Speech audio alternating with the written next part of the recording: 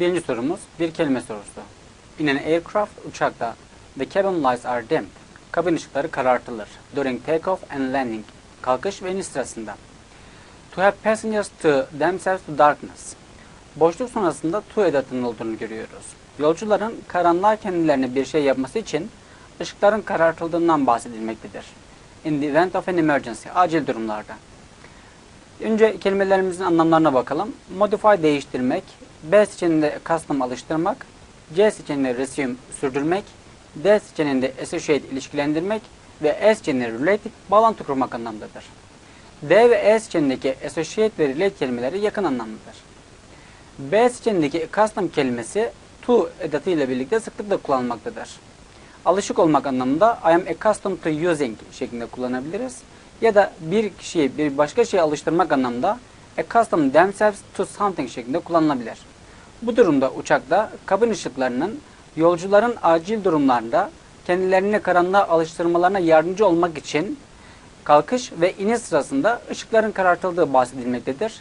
Doğru yanıtımız B seçeneğidir. İkinci cümlede John Christian'ın Kanada'nın başbakanı olarak 10 yıl sonrasında ne yaptığına ilişkin bir bilgi sorulmaktadır. Kelimelerimizin anlamlarına bakalım. A seçeneğinde step down emekli olmak, B seçeneğinde make out anlamak, C seçeneğinde run out tüketmek anlamındadır. Bir şeyi tüketmek anlamında kullanıldığında run out of şeklinde kullanılır. D seçeneğinde hold up direnmek, E seçeneğinde point out ise işaret etmek anlamındadır. Özellikle noun clause'larla birlikte point out that şeklinde sıklıkla kullanılmaktadır. A seçeneğindeki steps down ifadesi bu kişinin Kanada'nın başbakanı olarak 10 yıl sonrasında emekli olduğu ifade edilmektedir. Doğru yanıtımız ikinci soruda A seçeneğidir. Üç nolu sorumuz bir kelime sorusu. A fair proportion of the workforce. Şu anda iş gücünün büyük bir oranından now work from their homes. Şu anda evlerinden çalıştığı görülmektedir.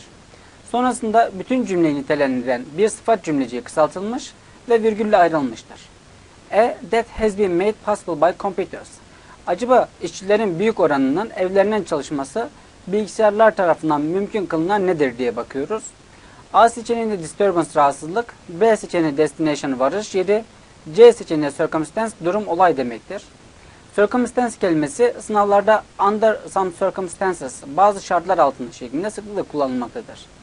D seçeneğinde support destek, E seçeneğinde denial ise inkar anlamındadır.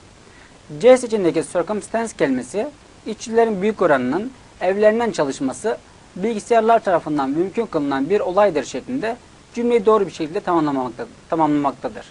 Üçüncü sorumuzun yanıtı C seçeneğindeki circumstance kelimesidir. Dördüncü sorudaki kelime sorusu Kuzey Kore ile ilgilidir. North Korea is to abandon its nuclear program. Kuzey Kore ile ilgili cümlenin boşluğundan sonra to edatının olduğu görülmektedir. Dolayısıyla boşluğa gelecek kelimenin to ile uygun bir şekilde kullanılması lazımdır. Without specific security guarantees from America, Amerika'dan özel güvenlik güvenceleri and promises of loss of aid ve çok miktarda yardım vaadi olmaksızın Kuzey Kore'nin nükleer programını terk etmesiyle ilgili bir şey sorulmaktadır. A seçeneğindeki sincere samimi, B seçeneğindeki nesli kötü, C seçeneğindeki boastful kendini beğenmiş, D seçeneğindeki unlikely olası olmayan ve E seçeneğindeki provisional geçici anlamındadır. D seçeneğindeki unlikely to ile birlikte kullanılmaktadır. Likely'nin olumsuz hali olup bu cümlede Kuzey Kore'nin Kuzey Kore'nin Amerika'dan özel güvenlik güvenceleri olmaksızın and promises of loss of aid ve pek çok yardım vaadi olmaksızın nükleer programını terk etmesinin olası olmadığı ifade edilmektedir. Doğru yanıtımız D seçeneğidir. Beşinci soruda pharmaceutical firms, eczacı şirketleri ile ilgili bir sorumuz bulunmaktadır. Eczacı şirketlerinin are wary of devoting money to new antibiotics. Devote to kendisini bir şey adamak anlamında kullanılır. Burada ise paranın yeni antibiyotiklere yatırılması ile ilgili bir durum söz konusudur.